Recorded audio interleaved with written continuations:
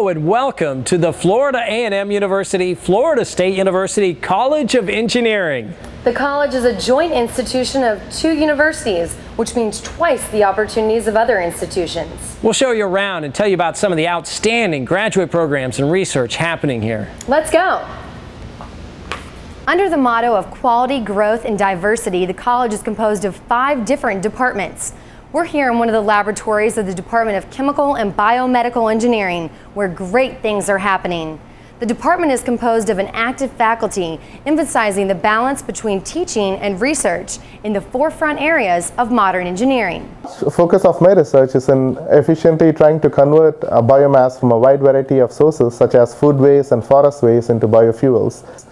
Um, research in my group is funded by the Department of Transportation and the Department of Defense. Uh, one student is working on trying to use, trying to convert switchgrass and bagasse, which is sugarcane residue, into biofuels. One student is using the equipment from the Department of Defense to understand the kinetics of enzyme reactions. And one student is also developing new techniques at the National High Magnetic Field Lab in trying to understand how these cellulose chains are being broken down in the process of production of biofuels. I chose to go to the College of Engineering because I wanted to continue on my work with Dr. John Collier and Dr. Ramakrishnan in their cellulose studies that I did when I was an undergraduate. The research that I'm involved in, funded by the Department of Transportation, it's dealing with the conversion of cellulose materials such as switchgrass, bagasse, uh, sugarcane, anything like that, into a usable, usable alternative fuel. In order to do that, uh, we're going to be using specialized equipment that's able to break down high loadings that we want to be able to use and then convert it to these fuels. In my research, I utilize the facilities in the National High Magnetic Field Laboratories in order to study what occurs during enzymatic hydrolysis of cellulose. And we want to do this in order to develop ways to better produce biofuels. We have a diversity of graduate students in the lab uh, that come from uh, uh various uh, background and they bring their different scientific and engineering perspectives to different projects.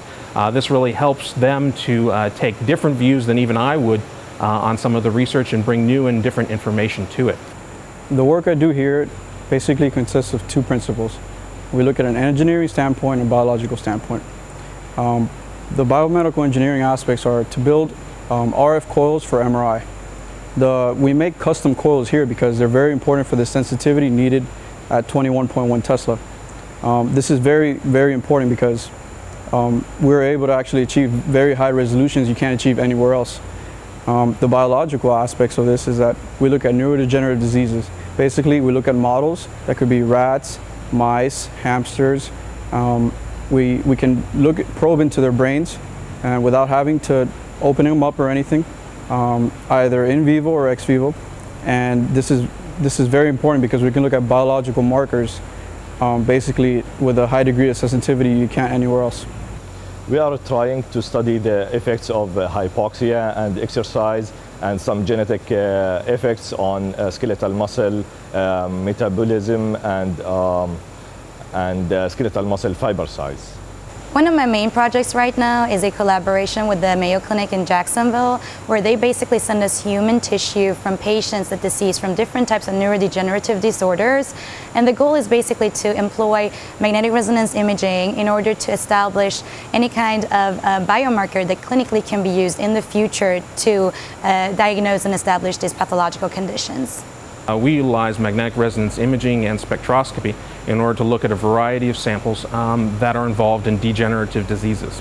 Uh, so we use nanoparticles, we um, build uh, RF devices, and we look at uh, basically biological samples that range from single cells to in vivo animal models to even human samples. And as we mentioned before, the College of Engineering is a joint institution of Tallahassee's two major research universities, Florida A&M and Florida State Universities. And if you'd like to learn more about our research programs or graduate programs, please feel free to visit our website or contact us directly.